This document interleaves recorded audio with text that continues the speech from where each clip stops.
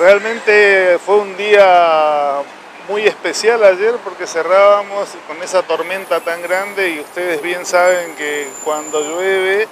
las personas ciegas o con baja visión sufren más las limitaciones, pero pudimos juntarnos en comunidad en el centro del ciego y cerrar, hacer la evaluación de lo que fue el ciclo 2014, que fue realmente un año muy espléndido, con muchas actividades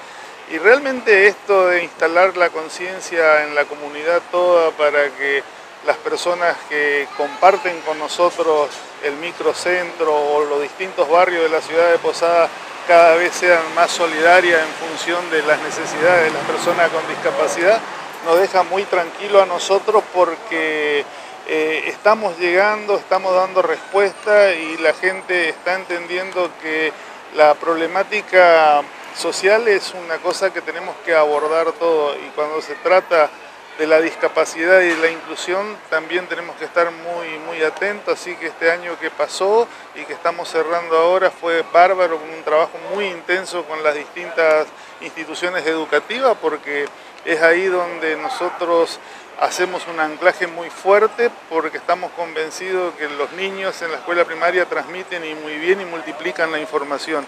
y tenemos que llegar a, todos los sectores para que se sepa qué es lo que se hace acá en el Centro de Rehabilitación del Ciego a favor de la atención de las personas que tienen este tipo de discapacidad. Siempre nosotros seguimos invitando al respeto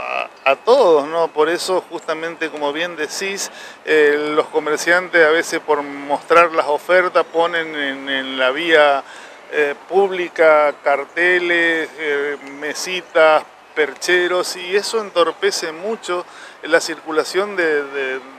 toda la ciudadanía y mucho más de las personas con discapacidad. Yo creo que ahí es donde nosotros tenemos que redoblar el esfuerzo y ser respetuosos porque si nosotros transitamos el microcentro